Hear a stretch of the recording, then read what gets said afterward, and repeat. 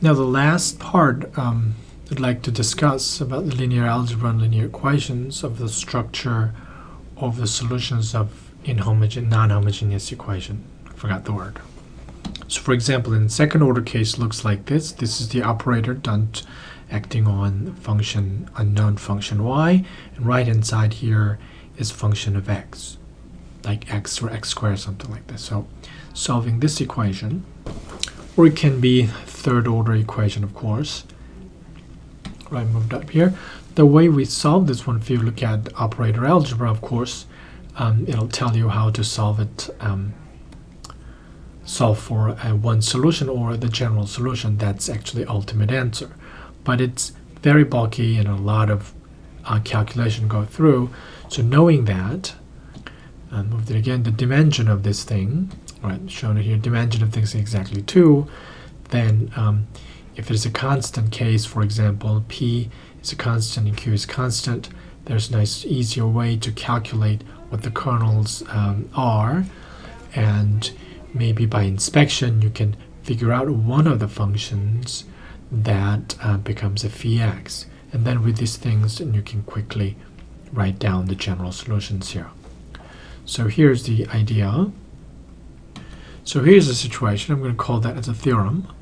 Suppose we have f1 and f2. That's the generator and m equals 2 case here. That function that generates everything in here, those two functions in the kernel. And suppose by inspection, by accidentally, and whatever the clever method you used, we found one function that goes to phi x. Then we'll write down how the, all the other solutions that uh, to this equation look like with this information. Here's the conclusion.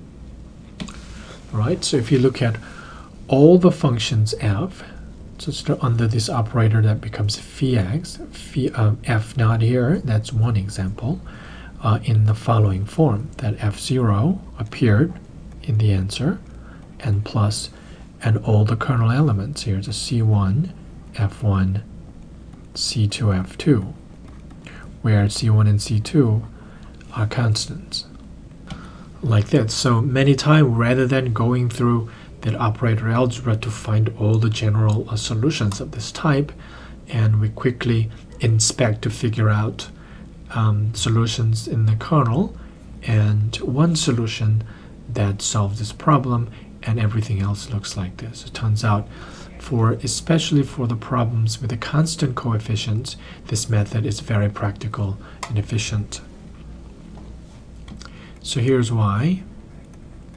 I think it's easy to show that this one actually is the solution of that and the statement is not actually talking about that only that all the uh, solutions of this equation is in this form and and all these uh, functions in this form with arbitrary c1 and c2 um, trivially satisfy this equation using the linearity. So this is a non-trivial part relatively, so with, that's what we're showing. So let f be an arbitrary uh, function that satisfies this condition.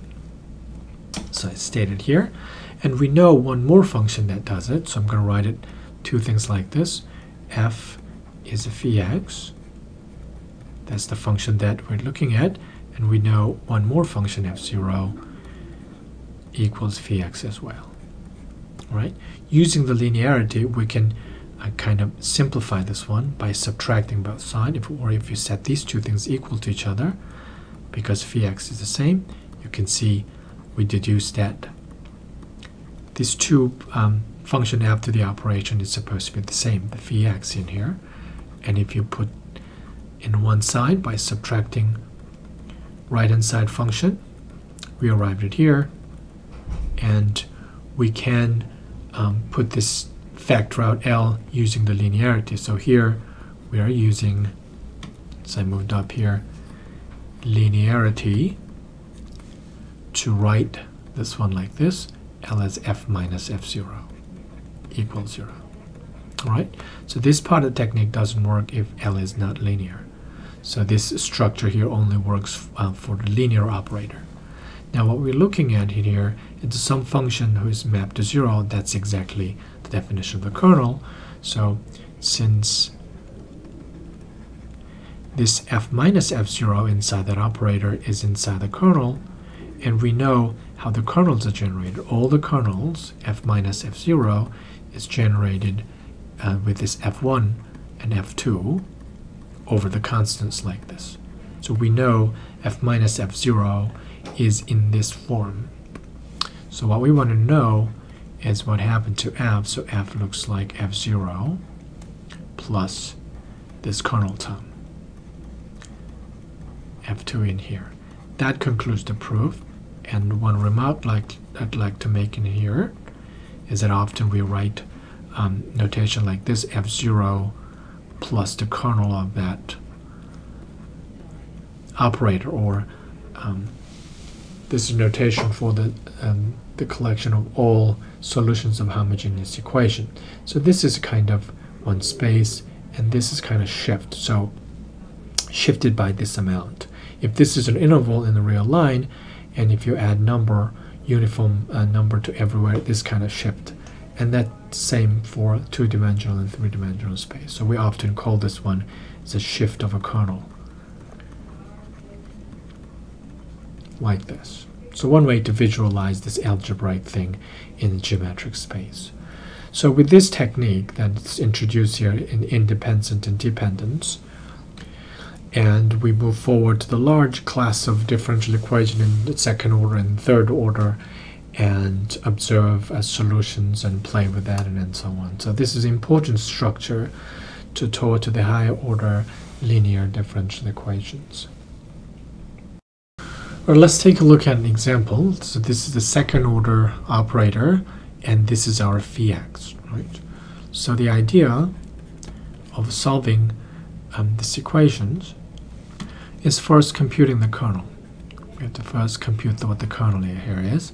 Let me just first identify what L is. L is the second derivative and 2 times no derivative, so that's identity. And first we have to figure out what the kernel of L is. That looks like, because it's um, 2, and we looked at it as a, we have to look at it as square, square root of this number, and it's a plus, so it's coming from on sine and cosine, right? So it's going to be c1 sine of root 2x plus c2 cosine of root 2x. So let me abbreviate it this way. The kernel is always in this form where c1 and c2 are constants. So I think I was in rush. That let me just uh, factor it like this, and this is a plus uh, root 2i, and this operator i, and here's the minus root 2i and operator i. So these coefficients in complex form tells you, you know, how to write the, um, the kernel of this real valued function for the real valued function. So that's one thing. So if you can find a one um, special, what they call particular solution, and we can add this kernel to that one. So find one solution.